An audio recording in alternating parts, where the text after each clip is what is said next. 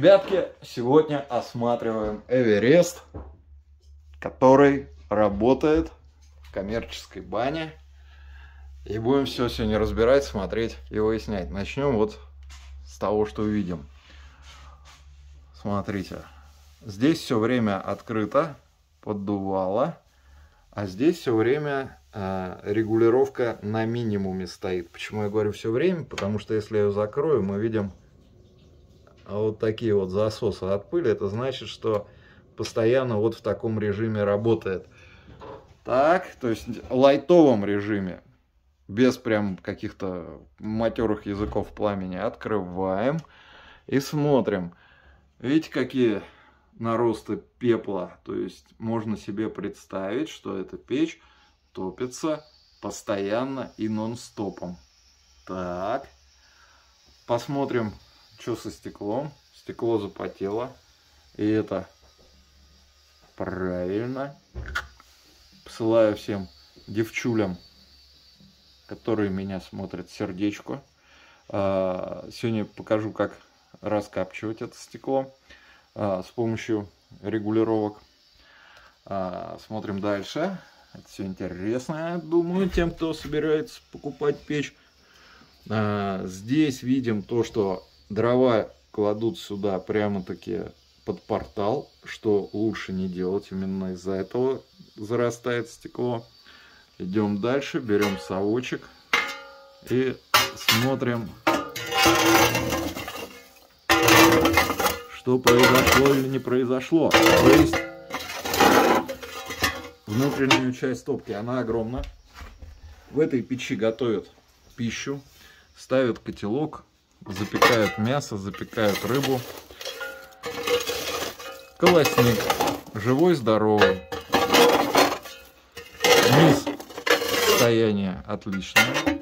Идем смотреть внутряночку. Это дожигатели. Это дожигатели. Так. Это отбойник пламени. И одновременно это закрытая каменка из нержавейки. Смотрим стену. Абсолютно. Геометрия не изменена. Так. Он топит ее прямо нон-стоп. Я приехал, когда ее не топит, попросил не топить, чтобы все, чтобы вы могли придирчиво оценить. Чем топят? Давайте смотреть. Береза, береза. И не забывают лучшее средство для розжига. Так. Здесь раньше стояла абсолютно другая печь. Здесь вообще был формат сауна. И вот взяли в аренду и э, сделали баню. Пойдемте в парную. Прежде чем мы пойдем в баню, пару слов. Значит, это раньше была сауна. Ее не так давно взяли в аренду. Собственно, сразу же заменили саунную печку на банную и начали сауну переделывать в баню. Потихоньку, полегоньку. Так что, конечно же, я знаю комментаторов, критиков, которые скажут, а вот давайте, короче, ближе к делу. Первое, с чего начали, заменили насесты на широченные полки. Дерево не обработанное везде, ничем не смазано. Полгода работы, вот новые полки приобрели некую э, старость и древность. Дальше поставили вентиляцию. И поверьте мне, вентиляция здесь вообще отличная. То есть вот это открыто, и здесь прямо вот э, по кайфу находиться. А, делали все своими руками, то есть это не профессиональные монтажники делали, но посмотрите, вот чопики туда поставили, молодцы, чтобы э, ничего не врезалось в попу. А, то есть первое, заменили а, куриные насесты на широченные полки. А, их ниже сделали, то есть видно, сделали, были насесты на верхотуре, как обычно, да, их уменьшили, и мне вот как раз по кулак. Дальше.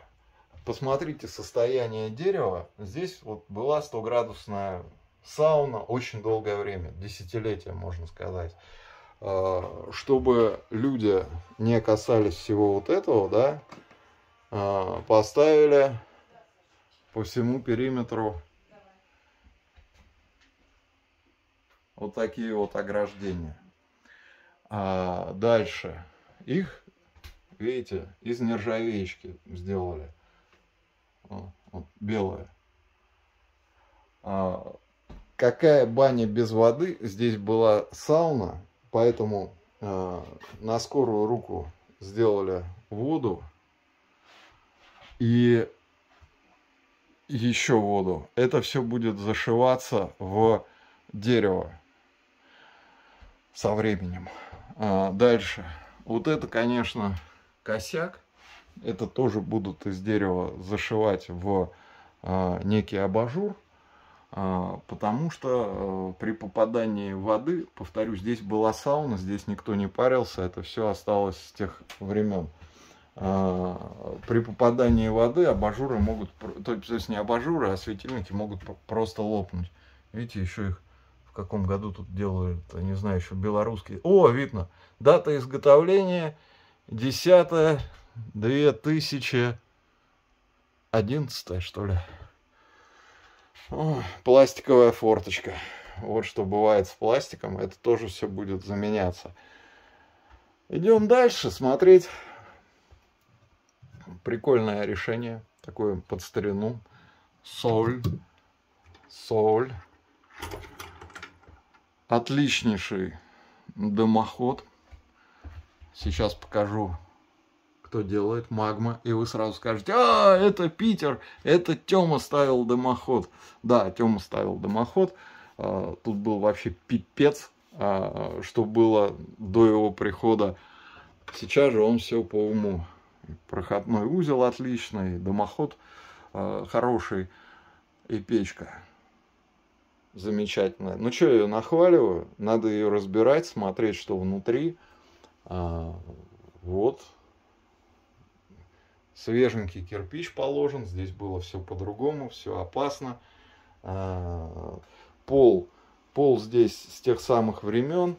А, и вот сейчас я короб отодвину, вот сливы сделали, ничего этого не было, потому что, повторюсь, здесь была сауна без воды. Вот, подножка, еще слив. Вот, как бы так вот. Любят сказать люди, а что ты в кроссовках не переоделся? Ну, потому что тут еще не убирались после э, парения. Мы сегодня будем здесь свинячить, разбирать. Так что давайте, ребятки, посмотрим, что с печкой случилось. Или не случилось? Ну что ж, освободил большую часть сетки, залезая туда рукой, или же вынимая вот отсюда. И э, при тебе сейчас буду вскрывать э, трепанацию, делать вскрытие, что там как. Ну, первое, что видно, печкой пользуются прямо в хвост и в гриву. Веники запаривают, масла льют – что тут внутри, я не знаю. Как с древней гробницы Тутанхамона, фараона.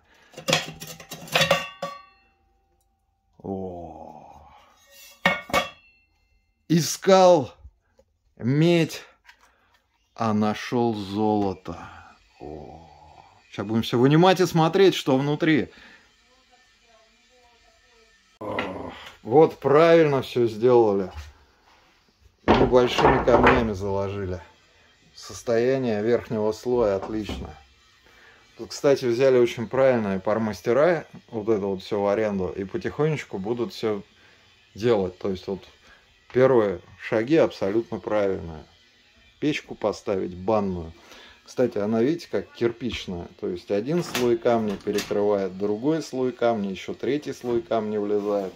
И если мы смотрим сюда, то не видим нигде щелей, которые бы воздух нагревали с помощью конвекции. То есть это реально как кирпич, без каких-то щелей. Классное решение. Вот взяли правильную банную печку с закрытой каменкой сделали полки широкие, поставили свежий воздух, обезопасили клиентов вот от этого дела с помощью вот этого. Ну и потихонечку, потихонечку все это делать будет. А почему это говорю долго? Потому что я знаю своих комментаторов, которые скажут, а, вот мы там видели такие бани, сякие бани, а здесь как бы все уставшее, да, все уставшее, но не с первого раза открывается тайна с тысячного рубля, и потихонечку денежек заработают, и все тут сделают. Я предлагал, знаете, как сделать? А, взять стамеску и прямо наделать всяких вот красот, там, деда какого-нибудь банника повесить. Ну, вы, кто в бане занимается, сами видите. Видите вот такую вот вещь? Профессионалы работают. Видите вот такую вещь? Суперпрофессионалы работают. Здесь, кстати, в этом комплексе, по-моему, все санкт-петербургские мастера побывали. Вот. А, это опахала Ивана опахала. Там, кстати, сверху а, обучабельный э, такой небольшой объем пространства, в котором проходит обучение. Там вообще блэк баня лежит. Ну, не сам с бородой лежит, а матрасы, валики. То есть, ну, здесь профессионалы работают. Просто вот баня уставшая, которая еще в процессе переделки. Все, больше я не касаюсь, что как происходит, а касаюсь вот этого. Просто говорю еще раз. Своих комментаторов самых добрых, самых ласковых, которые никогда не оставят ругательного коммента. Я же вас знаю, ребятушки, поэтому специально для тех, кто хочет написать в комментариях, не надо, не надо, я уже все объяснил. Все, вынимаю, буду показывать, что взял сверху, что взял снизу, и обязательно посмотрим состояние. Все, вынул. Что получили в итоге? Одна третья часть камней вышла из строя. Две трети живые. Что у нас и как вышло из строя? Ну, часть раскрошилась. А, то, что тальк, он стал вот золотистым, а, более легким, тоже весь он. Ну и этот камешек тоже частично полопался. Посмотрим, что в каменке куча пыли. Я думаю, любой человек, который берет банную печь, да просто баню, берет, делает за свои бабки, думает, мне бы здоровье бы, да, от нее прибавилось. 430 марка нержавейки. Как ты видишь, магнитик на ней держится. Это ферритная марка нержавейки. Давай проверим. Что там у нас насчет окалина? Огромное количество воды, коммерческая эксплуатация полгода на износ – Чё, может там ржавчина есть?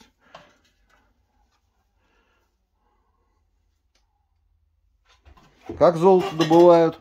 Берут, дочерпают, потом так делают. Смотрим. Глянцево. Давайте еще раз, может чуть-чуть еще поболее золото добудется. Давайте так.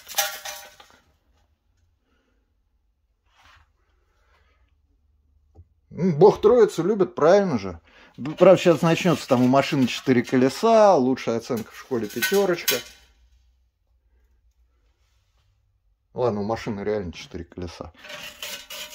Вы знаете, мошенники плутают в интернете постоянно, да? Он черпанул, так черпанул. А это значит, что надо вот показать, как есть. Ну ничего, кроме камня вы не видите. Камень, кстати, тоже может быть магнититься, но я думаю, этот камень не магнитился. Все чистенько.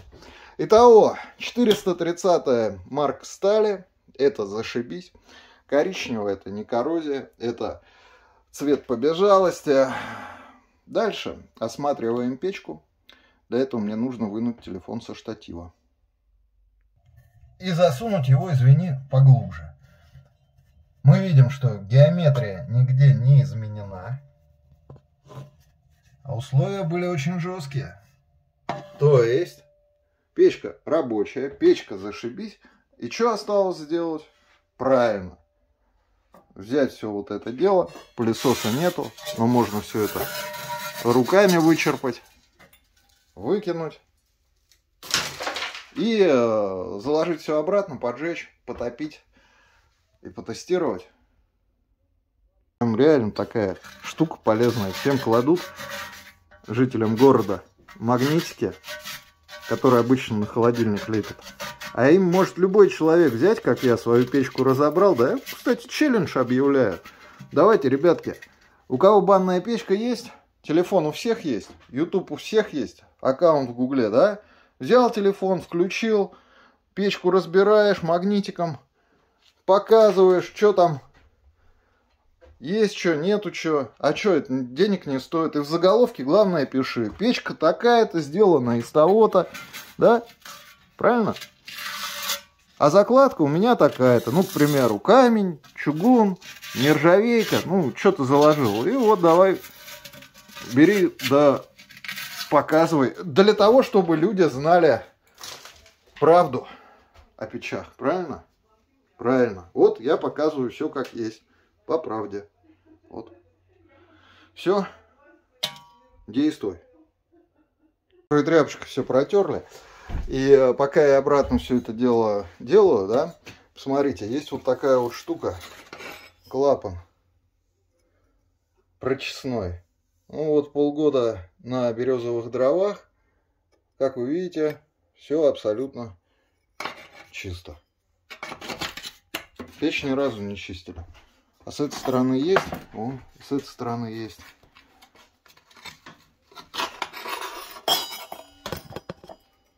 Сейчас сконцентрирую. Чистота, порядок, продуманная печка.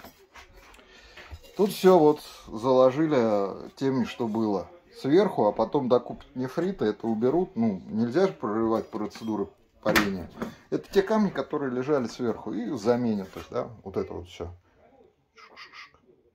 Все, печка приведена в боевую готовность.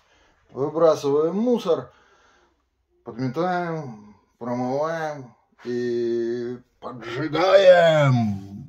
Братья и сестры, чем печка хороша еще? Знаете чем? Тем, что огромное поленье. О, туда влезают, как детские. Сейчас возьмем зожную пищу, остатки, эх, и подожжем все это. По физкультурному. Чем еще печка знаменитая и хороша? Тем, что никто не может подойти, вот так вот открыть зольный ящик на полную катушку. Повторяют всегда. Пришли гости прибухнувшие,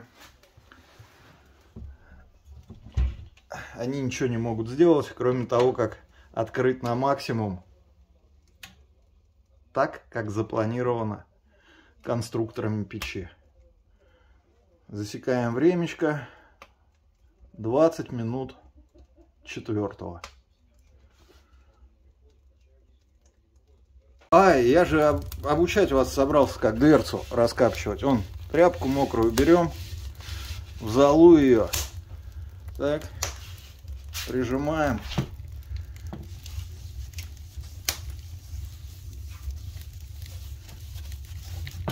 Вот и раскоптили.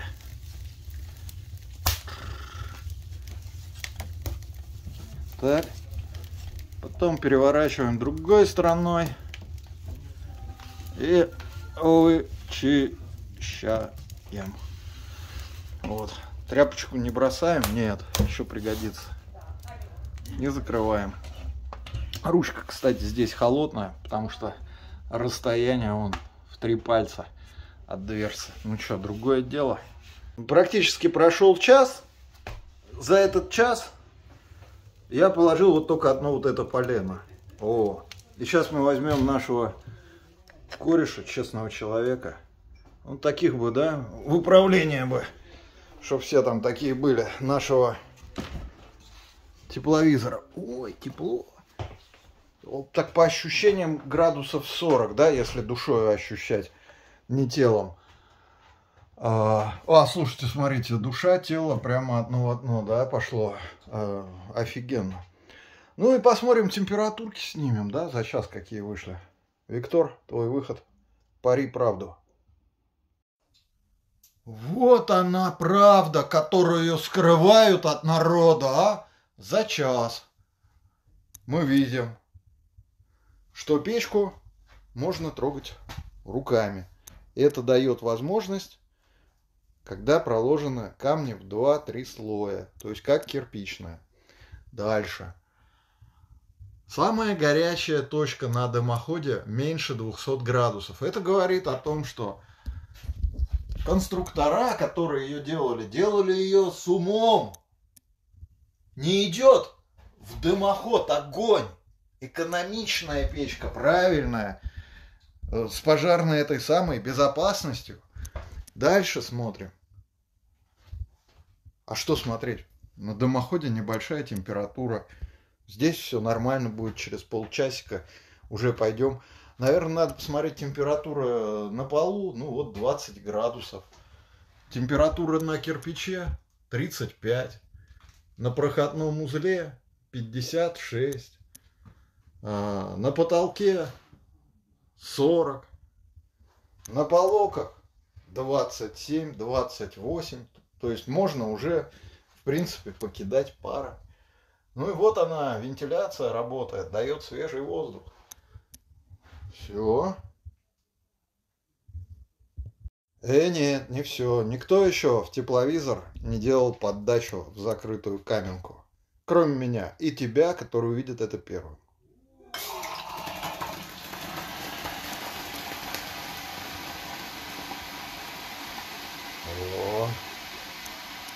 Однако, Эверест.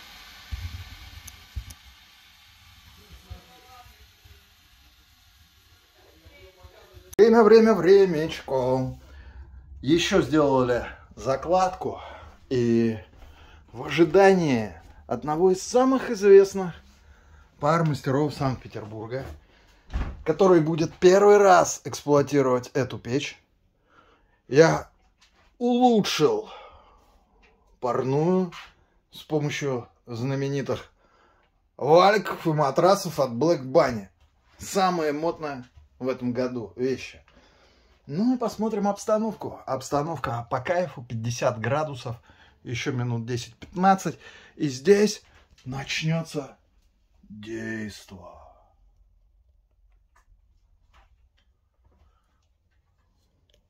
С Эверестом. Возможно, даже и с опахалом. Или его же веером. Кто знает. И вот широченные мышцы спины знаменитейшего пармастера города Санкт-Петербург Евгений Садилов сам лично приехал потестировать. Ну что, ты готов? Да, сейчас пойдем, испробуем мягкий режим. Ну и, конечно же, мой любимый жесткий режим, когда парку. Ты посмотри, как твой гость стал не весел. При слове жесткий режим. Ну что, Баня? его и уважаю. Готово. Сейчас пойдем. 60 градусов на 65. А это значит, пришел мастер, взял в руки. В этой идеальной атмосфере. А что в руки возьмешь? Апахалу, вер или веники по старинке? Я только веникой пользуюсь. Понятно. Ожидаем. И начинаем поддавать. Первая подача мастера. И за ней сразу же идет вторая. Мне брат говорит, никогда не чисти. Между первой и второй перерывчик небольшой, но я с ним никогда не соглашаюсь. Чем быстрее ты опустошишь, тем быстрее придет кайф. И Евгений видно из тех самых людей, что и мой брат.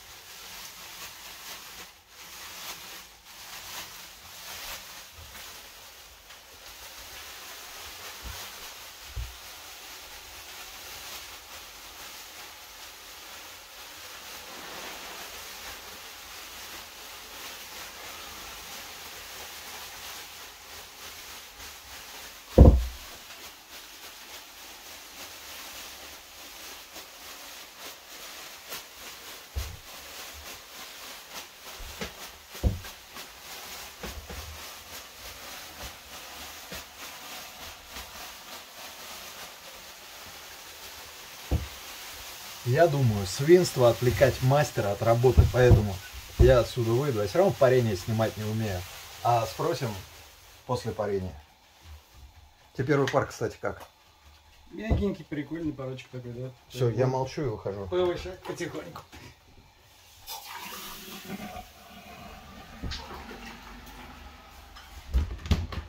Вернемся и узнаем. Мы же не договаривались. Так, немножко спинку попарили. Печка показывает очень Ощущение легкий. А, он, он каждый раз разный. Не похож на то, что было до этого. Ну, а ты идет? Поручик идет. Поручик идет. Ну, сейчас-то мы узнаем отзывы. Сейчас вы все узнаете. Что вы хотите узнать? Правду. Правда, это было здорово. Это было просто замечательно. Ой. Ой, замечательный пар, замечательный мастер. Если бы сердце выдержало, можно было вообще не подниматься. День не подниматься, два, лежать и принимать то, что принимал. Да, это было здорово. Смотрите. Это если нам надо получить легенький, тепленький, без резких. Если нам надо получить немножко больше влажности пар порезче, да, мы туда льем на каменку. А если мы мешаем и то, и это, здесь уже как бы начинаются интересные пропорции, да?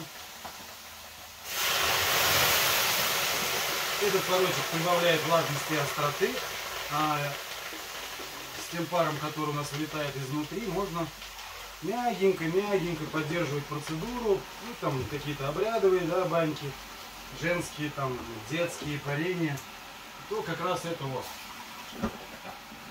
Неторопливо вылетает, постепенно наполняя парной, да, так скажем. И надо, если пожарче, чтобы пяточки подгорели, телефоны запотели. Тогда так. Ну и еще есть вариант у нас, да? Им не пользовался, но проверить надо, да?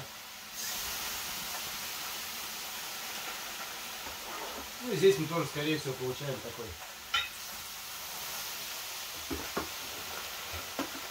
вяло такой приходящий, стабильный порочек. Ну и начинаем, соответственно, да, вльем э, внутрь, продолжаем под конец, да, чтобы немножко поджечь, там, столеварчиком угодить. Тогда собираем кам- с камней э, температуры поменьше чуть-чуть. И все, и пожалуйста, флаг вам в руки, ребята. Печка, огонь.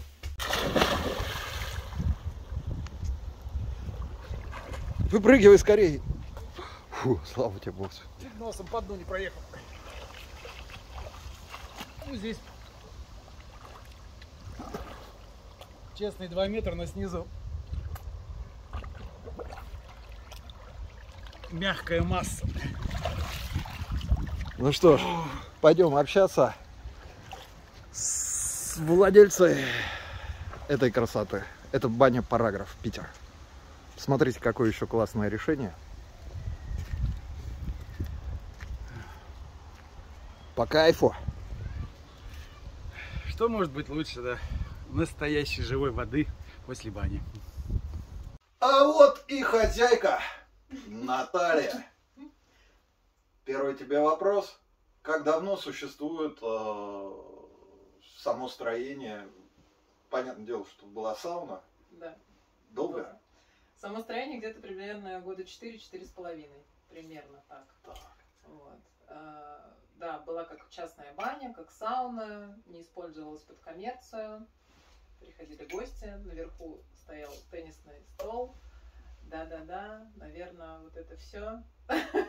Кожаной мебели не было.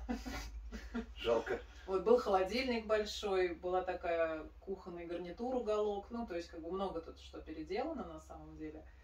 Вот. Но мне как-то понравилось именно место, пространство возле бани, то, что здесь есть пруд, такая тихая территория, и как-то я нарисовала себе картинку, что можно что-то переделать. Еще, конечно, переделать и переделывать, но Сейчас мы сами видим, то есть вот так видео это говорю, вот комментаторы, которые разбираются, вот они вот точно там уже что-то, может, и понаписали, что тот не так, тот не так. Это тяжелое наследство, которое досталось и которое переделывают потихоньку. Потихоньку это значит, что нету там денежного мешка такого, и чтобы разом все сделать. Потихоньку все будет. Главная печь, главное полки уже сделаны, вентиляция сделана. Ну, остальное приложится. Кстати, единственное, что здесь было, вот это тоже меня подкупило, это была вентиляция. Вот помимо вто- второе дыхание мы сами делали парной, а вот сама как-то вот форточка, вот само пространство, оно прям вот с первого нашего теста, когда мы там парились, позволило нам понять, что парная хорошая. Вот. Вот. Какая печка тут была до Эвереста? Хочется сказать, сгоревшая. Так. Вот, но мы не знали, что она сгоревшая, обычная железная печь, какая-то там заводская, вот, но прослужила она нам, сейчас скажу, ну где-то месяца три, наверное. И мы поняли, что она сгорела. А сгорела она, оказывается, потому что на нее клали слиточки вот эти кирпичики соли, ну, до нас, потому что это было потом видно при разборе, что там она вся, все камни с солью. Ну, сам печь корродировал и приказал долго Да, жить. там вообще, там просто она была как, как дуршлаг. дуршлаг. Всегда говорю, соль в бане. А, Для кого хороша? Именно на печи лежащая. Для тех людей, которые страдают какими-то заболеваниями, для тех людей, которые хотят оздоравливаться, и для производителей печей это тоже хорошо. Чем больше печь выходит из строя, тем больше их будет продаваться, тем более будут сытые работники заводов. Но для простого человека, которому соль не нужна, э, не по состоянию здоровья, э, он может поехать на юга куда-нибудь, ему это просто не нужно. Если он кладет соль, то печке приходит каюк. Поэтому сам думай, с одной стороны, э, оздоровление, э, можно на юг денег сэкономить, не поехать, с другой стороны, дырявая печка, которая придет в негодность э, в течение полугода. Раз о печках говорим, Эверест.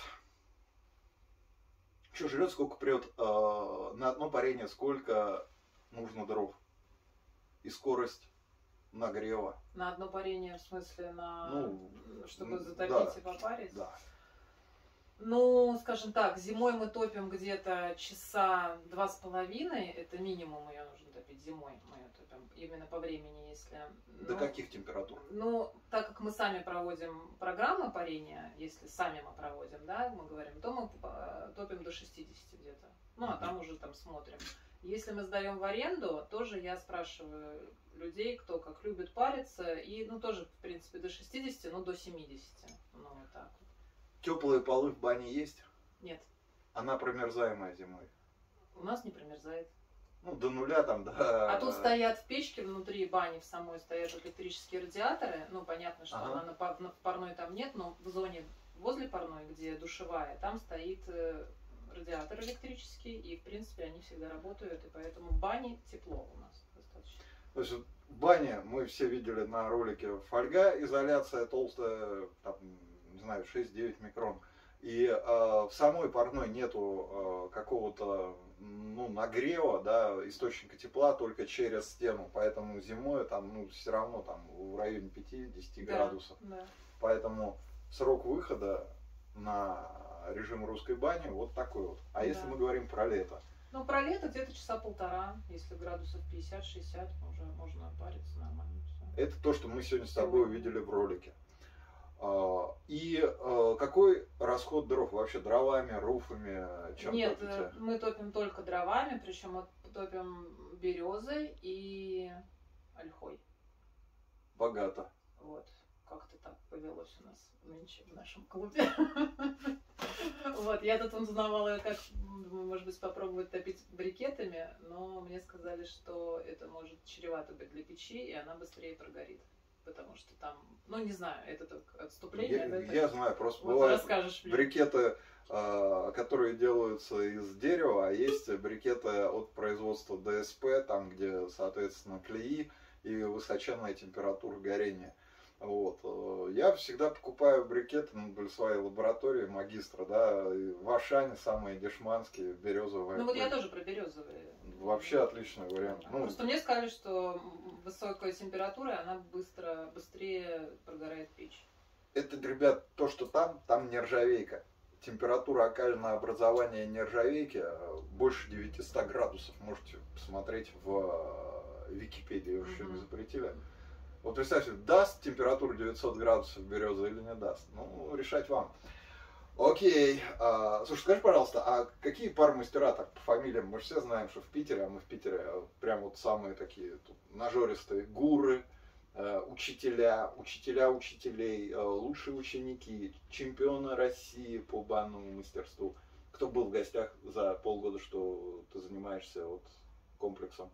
Ну, из прям таких гуру здесь единственно два было пармастера. Это Скромница. скромница, да, да, да. Давай, давай. Отрекламируй их как следует. Это Евгений Садилов, это самый мой любимый. Да мы его сегодня видели. Да, да, да. И Владимир Малышев. Так. Вот. А девчонки были какие-то? Тут Питер Девчонки- просто девчонками славится, что здесь Девчонки самые... были Маша Шишкина была. Сама? Да, Без мужа, надеюсь? без мужа. Ясно. Слава богу. У вас был девичник? Да. А, ну тогда не слава, тогда обратно. Была. Александра Сырцова. О, А, знаешь такое? Это ученица. Евгения Садилова. я только слышал Вот. И она у нас заняла, да, тоже чем- чемпион, чемпионка. О, Так что вот, еще кто, кто, кто. Ну, пар мастеров было достаточно, но вот таких вот, как ты сказал, прям именитых, чтобы вот прям. Я считаю, что они все достойны. э, что для москвича именитое, Да, то в да. Питере считается, ну, ну, нормальное. А те, которые прям боги-гуры, а вот для тех э, именитые называется. Что говорят они по парной? Они же наверняка были, когда старая печка была и когда новая. Слушай, ну, кстати, изменения. да, э, была старая печь, как раз собирались мы пар мастерами все, была тогда старая Под печь, и открытие, она как наверное. раз, э, нет, э, я просто пригласила посмотреть, что, и как раз тогда она под конец парения и дала сбой, потому что из, из этих дыр начала заливаться. Вот, ну мы как бы собрались в такой обстановочке нормальной, неформальной, поэтому все поняли, что это Бывает, тест, да, это бывает. бывает. Вот, но тем не менее, тогда тоже был хороший пар. И, Несмотря на все, та печь тоже выдавала хороший пар. Я не знаю, как ей это удавалось с этими дырами. но- А кто тебе посоветовал Эверест поставить? Печь достаточно новая. А, посоветовали мне... Володя мне посоветовал. С ним я советовалась на эту Какой? тему. Малышев, Сам лично. Сам лично. Офигеть. Да, и да, да, да, кстати, да, он. Еще тогда советовалась с Маратом Насыровым.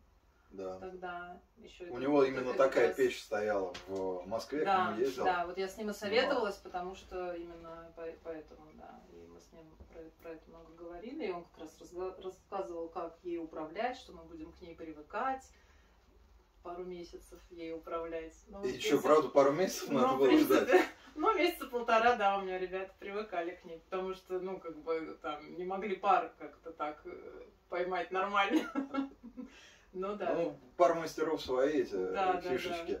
Ну, м, я вообще просто закинул дров э, два раза, да. Не, у меня было с ней все Да, хорошо, честно, когда я там заходила, люди, они вот как-то, да, привыкали. Интересно. Так. Ругались сначала, он говорит, там жарко, там это, что-то. Я говорю, это нормально-то. Вот. Понятно. Потом все, потом хвалили, влюбились, и теперь говорят, нет, печь вообще огонь. А, По дымоходу наверняка на старой печи стояло что-то старинное. А, Меняли дымоход? Я просто смотрю, он такой свеженький достаточно. Покраски нормальный А, такой. Сам дымоход не меняли, но перебирали. Его должны менять, на самом деле, вот сейчас, ну, как сказать, не менять, должны посмотреть, протестировать, что там сейчас с ним. То есть у нас было условие, что как раз печи полгода, где-то там месяцев 7-8 пройдет, а, и мы посмотрим. В старом дымоходе была неправильно проложена вот эта вот теплоизоляция, там была проложена этот утеплитель, как стекловатый, ну, короче, который для- тепла а Мгм, не для мгм. печей. Вот. И на самом деле она там прогорела, и даже начали прогорать вот эти То есть перекрытия. проходной узел э, переделали. Проходной Я у- просто да, вижу, да. проходной узел Проходной, свежий, да. дымоход красивый. Да. А Ну кто делал, кто ставил? А пок... э, господи, простите меня, как они называются-то? Я не знаю. Ну, э, молодой человек был Молодой или дедушка? человек, Ну, молодой Артем, человек. что ли? Конечно. Нет, Артем это я знаю, я забыла, как они называются. Как их... Да, уже весь Питер знает. Это Артем. народный камин, э, да, да, да, печное да, дело. печное Ну, дело. елки Вот моталки. это слово. Если в Питере ставьте, используйте для монтажа хорошие только ребята. их. Ребята, Ссылочка на них снизу под роликом. ребята вообще классно. Сто лет их знаю. Вообще. Прям все расскажут, все сделают, никаких все приедут, все поставят, уберут, заменят. э, и Вообще, я просто, я их всем потом говорю, вот, пожалуйста, человек, человек, пожалуйста, все сделает за вас. Ну а теперь переходим к последнему, самому важному вопросу, потому что вот такой ролик, все хорошо, все хорошо, все хорошо. А что плохо? Накритикуй печку, скажи, там в печи вот мне не нравится то-то, то-то. Там, к примеру, э, топка большая, но хотелось бы больше, чтобы две сковородки Чтобы, ставить. я только хотела, чтобы с казан с пловом влезал. да? Ну, я не знаю, есть какая-то критика или прям все, ребят, берите, всем рекомендую, там зуб соседу даю на отбивание, что все нормально. Или что-то ненормально. Слушай, ну конкретно вот это, вот конкретно это меня устраивает. Единственное, она немножко Да. большевата, может быть, мне кажется, для нашей парной, что, ну, это опять же По объему. по объему, да. Ну, в смысле, э, ходить по эргономике, да, ну, как там, как правильно это слово называю? То есть где-то там, когда ты проходишь, чуть-чуть можно задевать. Там, попой, боком, или кто-то там уже говорит, мы обожглись. Вот. Но... Это отлично, то, что ты вот это сейчас сказала, и я скажу, почему она большая. Именно в ролике, в начале, я объяснил, что есть печь из сетки, в которые влезают несколько камней, так что перекрывают конвекцию. То есть, чтобы печь была как кирпичная, она должна быть больше, чем обычная печь-сетка. Именно у Эвереста сделано так, что это как кирпичная печь. И с одной стороны, да, она занимает больше объема, но с другой стороны нету конвекции, то есть суховоздушности. Нельзя сделать так, чтобы либо одно, либо другое. То есть, чтобы все вместе было либо то, либо то, либо большая, либо э, конвекция. Ну, Вот русская Мгм. баня, а русская Ну да. баня это без конвекции. А если она есть, то должна регулироваться. Ну что ж, может тебе что-то добавить? Про печь именно? Да вообще э, про наш всё. ролик, может сказать там, ребята, приходите все к нам, кто собирается покупать Эвересты, заходите. Слушайте, ну приходите все к нам, кто собирается покупать Эвересты. Можно сказать, И заходите кто вообще, не и кто собирается не покупать собирается. Эвересты, вообще заходите к нам. У нас прекрасный клуб, хорошая атмосфера, у нас вкусно пахнет, у нас э, душевно, да? Правда? Подтверждаю. Вообще. Значит, все ссылки на все, что мы сегодня перечислили, на лучших монтажников, на отличнейшую банную печку и на И к нам приходят место. лучшие пармастера, извините, перебила. Лучшие Лучшие. в Санкт-Петербурге. лучшие, Да, А Петров был? На, стоп, ничего не говори, ничего не говори, на этом мы окончим ролик. Всем пока.